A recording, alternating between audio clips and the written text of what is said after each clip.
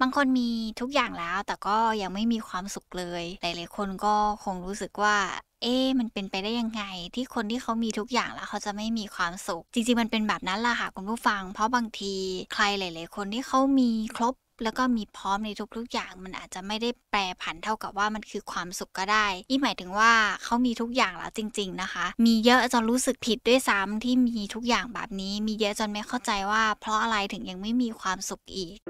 ออจิตนี่คือพื้นที่ปลอดภัยสำหรับคุณ ดาวน์โหลดได้แล้ววันนี้ ทั้ง iOS และ Android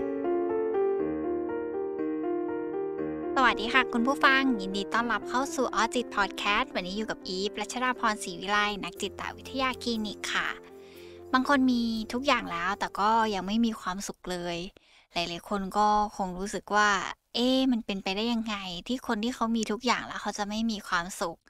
จริง ๆ มันเป็นแบบนั้นแหละค่ะคุณผู้ฟัง เพราะบางที ตัวใครหลาย ๆ คนที่เขามีครบแล้วก็มีพร้อมในทุกๆอย่าง มันอาจจะไม่ได้แปรผันเท่ากับว่ามันคือความสุขก็ได้นี่หมายถึงว่าเขามีทุกอย่างแล้วจริง ๆ นะคะ มีเยอะจนรู้สึกผิดด้วยซ้ำที่มีทุกอย่างแบบนี้ มีเยอะจนไม่เข้าใจว่า เพราะอะไรถึงยังไม่มีความสุขอีก มีร่างกายที่แข็งแรงสามารถแบบทำอะไรต่างๆ นานาที่ตัวเองอยากทำได้ โดยที่ไม่ต้องมีโรคภัยไข้เจ็บ มีเงินมากพอที่จะสามารถซื้อบ้าน ซื้อรถ ไปเที่ยวรอบโลกอย่างที่เราอยากจะไป หรือแม้กระทั่งบางคนเนี่ยมีคนรอบกายที่รักแล้วก็เป็นห่วงเราจริง ๆ แต่ก็ยังรู้สึกว่าตัวเองไม่มีความสุขจนถึงกับต้องถามตัวเองว่า เราเนี่ยมีสิทธิ์ที่จะมีความสุขเหมือนคนอื่นได้บ้างหรือเปล่ากับบางคนมองว่าเพราะอะไรเรามีทุกอย่างแล้วถึงยังไม่มีความสุขอีก จริงๆมันเป็นเรื่องธรรมดามาก ๆ ของมนุษย์เราที่จะสามารถเกิดเป็นความรู้สึกเศร้าได้ แม้ในวันที่เรามีพร้อมทุกอย่างแล้วก็ตาม เพราะความเป็นจริงแล้วเนี่ยความเศร้ามันเป็นพื้นฐานที่ทุกคนจะต้องเผชิญกับมัน หรือความสับสนในตัวเอง ความที่เรารู้สึกคับข้องในตัวเราเอง มันก็เป็นเรื่องธรรมดาที่มนุษย์เราจะต้องเกิดเป็นความรู้สึกแบบนั้นขึ้นในช่วงเวลาใดช่วงเวลาหนึ่งก็ได้เหมือนกัน แต่เราก็ต้องเข้าใจว่าจริง ๆ ความสุขมันอาจจะไม่ได้ผันแปรมา ด้วยการที่เรามีทุกอย่างหรือแม้กระทั่งกับความทุกข์มันก็ไม่ได้ผันแปรมากับการที่เรายังไม่ได้มีทุกอย่างในชีวิต เราสามารถหาความสุขได้จากการทำความเข้าใจตัวเอง การเริ่มสิ่งที่มันเป็นสิ่งที่ขาดหายในตัวเองไป หรือแม้กระทั่งการหาโอกาสให้ตัวเองได้ลองทำอะไรใหม่ ๆ ในชีวิต อันนั้นต่างหากละค่ะคุณผู้ฟังมันถึงเป็นที่มาของคำว่ามีความสุขอย่างแท้จริง มีคนพูดไว้แบบนี้ค่ะคุณผู้ฟังว่า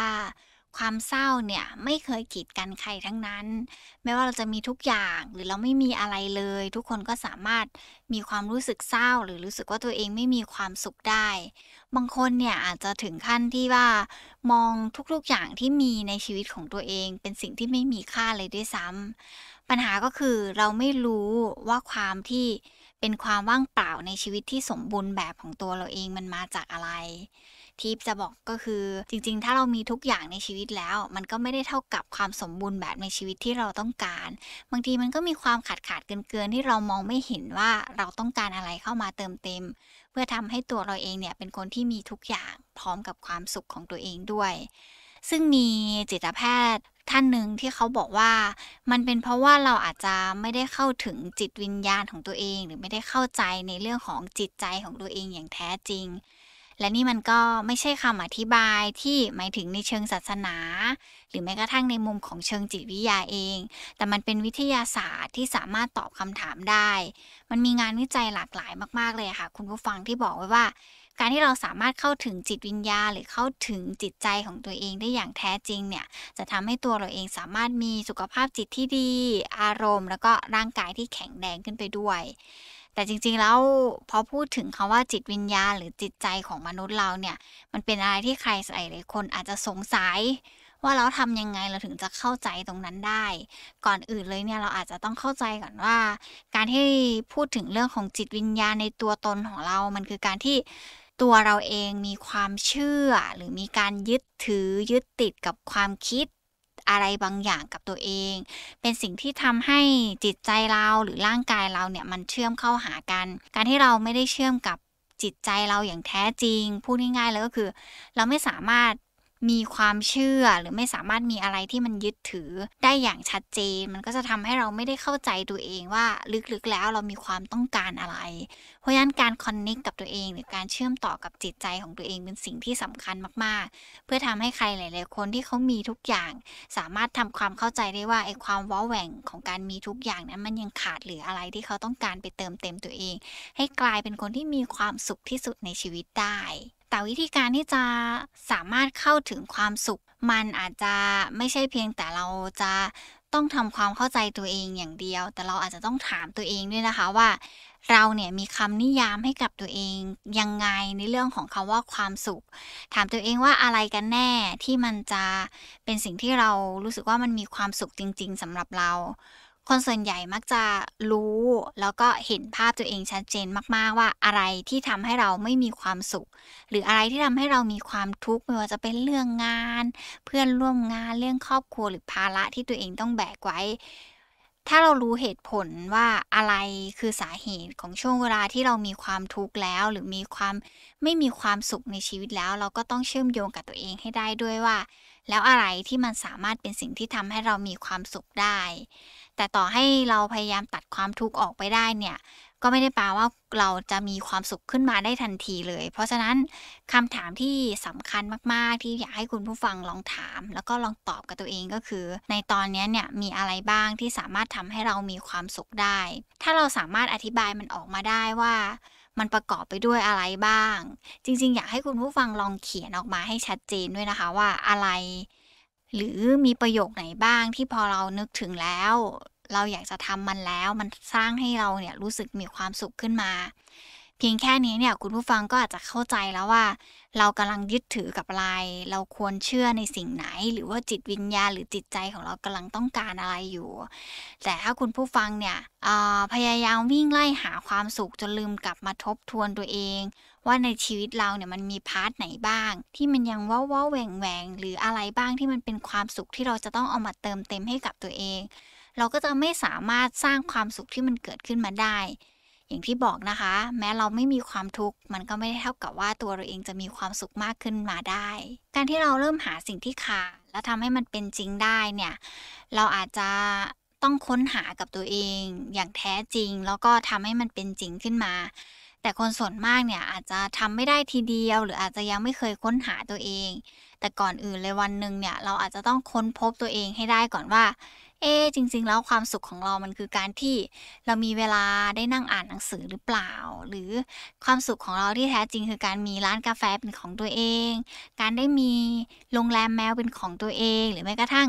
การที่ตัวเราเองรู้สึกว่างานตรงนี้มันกำลังทำให้เรามีความสุขได้ยังไงบ้าง คือพอเราเห็นภาพตัวเองว่าอะไรมันจะสร้างความสุขให้กับเรา ตัวเราเองก็จะพยายามดิ้นรนตัวเอง หรือพยายามพาตัวเองเนี่ยเดินไปถึงตรงนั้นได้ โดยเฉพาะคุณผู้ฟังที่อยู่ในช่วงวัยที่กำลังทำงาน 25 ปีเราเห็นไหมเราอยากจะมีอะไร 35 ปีเราเห็นภาพตัวเองเป็นยังไงบ้าง หรือแม้กระทั่งคนในอายุ15ปีเนี่ยค้นพบตัวเองหรือยังว่าต้องการอะไรในชีวิต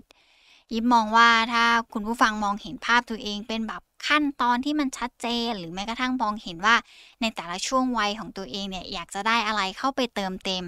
แค่นั้นก็ถือว่าเป็นความสำเร็จอย่างหนึ่งที่เราค้นพบความสุขให้กับตัวเองได้แล้ว บางคนอายุ 50ถึง60 ปีแล้วเนี่ยบางทีก็ยังไม่เข้าใจตัวเองด้วยซ้ำว่าความสุขที่ตัวเองต้องการเนี่ย มันอยู่ตรงไหนกัน สิ่งสำคัญก็คือถ้าเราค้นหาตัวเอง รู้แล้วว่าอะไรมันคือความสุขของตัวเรา เราอาจจะต้องเดินเข้าหาเป้าหมายตรงนั้น ของเราทีละนิดทีละนิดค่อย ๆ แบ่งเวลาหรือแบ่งสิ่งที่มันควรจะ ลดทอนลงแล้วก็ไปให้ความสำคัญกับสิ่งที่เราต้องทำมากยิ่งขึ้น มันก็อาจจะทำให้เราเนี่ยเข้าไปถึงความสุขที่เราอยากจะเป็นได้มากขึ้นด้วยเราอาจจะไม่ได้โชคดีขนาดที่ว่าอ๋อ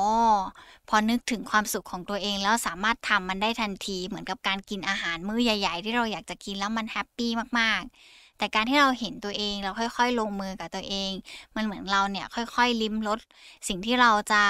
สร้างความสุขกับตัวเองได้ ค่อย ๆ ชิมรสเหล่านั้นไปเรื่อย ๆ จนวันหนึ่งเราได้ก้อนความสุขก้อนใหญ่ที่มันอิ่มแล้วก็อร่อยมากๆ สิ่งสำคัญเลยเนี่ย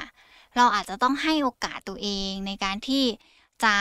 เชื่อมโยงตัวเองกับความต้องการภายในหรือเห็นภาพของตัวเองในมุมมองที่เป็นตัวเราเองจริง ๆ หากเราสามารถมองให้ความบังเอิญที่มันเกิดขึ้นต่างๆ ในแต่ละวันเนี่ยเป็นเรื่องที่เป็นเรื่องทางบวก หรือเป็นอะไรที่มันเป็นเรื่องดีๆ ที่มันเกิดขึ้นกับเราได้ เราก็จะสนับสนุนกับโอกาสที่เราได้มาตรงนั้นเนี่ยให้มันทำให้ตัวเราเองมีความสุขขึ้นมาได้ มันคล้ายๆกับการมองโลกในแง่ดีนั่นแหละค่ะคุณผู้ฟัง ซึ่งบทสรุปของการที่เรามีทุกอย่าง แล้วหาความสุขให้กับตัวเองเนี่ย คิดว่าทุกอย่างที่เรามีกันเนี่ย มันอาจจะช่วยให้เราไม่ทุกทุกอย่างในที่นี้อาจจะหมายถึงปัจจัยภายนอก หรือแม้กระทั่งสิ่งที่อยู่รอบๆตัว แต่มันอาจจะไม่ได้หมายถึงปัจจัยภายในที่เราจะสามารถมองเห็นและสามารถเติมเต็มตัวเองให้เป็นความสุขได้ เช่นที่เรามีร่างกายที่มันแข็งแรง ไม่เจ็บปวด ไม่ทุกข์เพราะโรคภัยไข้เจ็บ มีบ้านเราก็ไม่ต้องเครียดในการหาที่อยู่อาศัยมีรถขับ เราก็ไม่ต้องไปนั่งรถเมล์หรือไม่ต้องไปอาศัยรถโดยสารอื่นๆ เราก็อาจจะรู้สึกว่านั่นเป็นความสะดวกสบาย แต่มันอาจจะไม่ได้หมายถึงความสุขในชีวิตเราก็ได้ แต่ความทุกข์กับความสุขเนี่ยมันไม่ใช่อารมณ์ที่เป็นขั้วที่มันอยู่ตรงข้ามกันนะคะคุณผู้ฟัง แต่มันสามารถเกิดขึ้นพร้อมกัน หรือทั้งสุขและทุกข์เนี่ย บางทีมันก็อาจจะไม่ได้เกิดขึ้นทั้งคู่เลยก็ได้ คิดว่าความสุขหาได้จากการที่เข้าใจตัวเอง มองเห็นสิ่งที่ตัวเองขาด มองเห็นว่ามันคืออะไรที่เรารู้สึกว่ามันจะเป็นความสุขในชีวิตเรา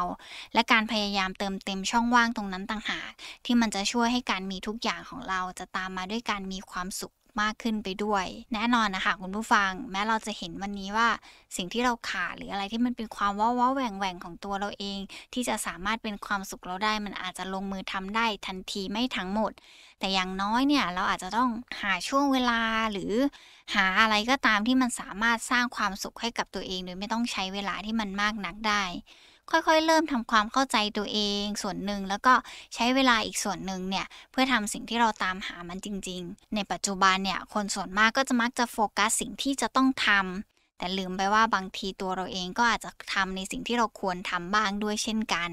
หรือความสุขบางทีมันอาจจะหาได้ง่าย ๆ จากการเริ่มปล่อยอะไรที่มันไม่จำเป็นสำหรับเรา เช่น การบริจาคเงิน การบริจาคสิ่งของที่เรามีมันทุกอย่าง แต่เรากลับไม่เห็นค่ามัน หรือการให้อาหารสุนัขจรจัดข้างทาง หรือการที่บางคนมองว่ามันคือการเติมเต็มทางจิตใจของตัวเราเอง บางทีสิ่งเหล่านั้นเนี่ยมันก็สร้างเป็นความรู้สึก มีความสุขเล็กๆ น้อยๆ เพื่อเติมเต็มความว้าแหว่งในจิตใจจากการมีทุกอย่างแต่ไม่มีความสุขก็ได้ มันเป็นเรื่องแปลกในชีวิตนะคะ คุณผู้ฟังที่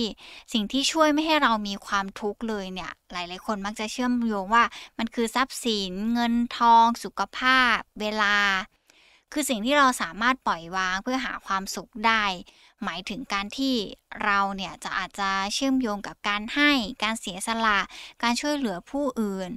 เพราะฉะนั้นไม่ว่าจะทำให้ชีวิตตัวเองสมบูรณ์แบบแค่ไหน แต่ถ้าเรามองไม่เห็นความว้าแหว่งของตัวเอง แล้วสร้างให้มันเติมเต็มขึ้นมาได้ ในวันที่เรามีครบทุกอย่าง ความสุขมันก็อาจจะไม่ได้เกิดขึ้นตามมาด้วยนะคะ ทุกอย่างที่เรามีอาจจะไม่ใช่ทุกอย่างที่เราอยากได้ ทุกอย่างที่เรากำลังจะอยากมี มันอาจจะไม่ใช่ทุกอย่างที่เรากำลังจะอยากได้ เพราะฉะนั้นแล้วเนี่ยการที่เรามีทุกอย่างมันไม่ได้เท่ากับการที่เราจะต้องมีความสุขที่สุด แต่การที่เราเข้าใจตัวเอง มองเห็นความว้าแหว่งของตัวเอง แล้วให้โอกาสตัวเองได้เติมเต็ม มันอาจจะเรียกว่าความสุขที่มันเกิดขึ้นทางจิตใจของคุณผู้ฟังก็ได้ วันนี้ขอบคุณมากๆเลยนะคะ ที่รับฟังไว้เจอกันใหม่ EP หน้า สวัสดีค่ะออจิตนี่คือพื้นที่ปลอดภัยสำหรับคุณ ดาวน์โหลดได้แล้ววันนี้ ทั้ง iOS และ Android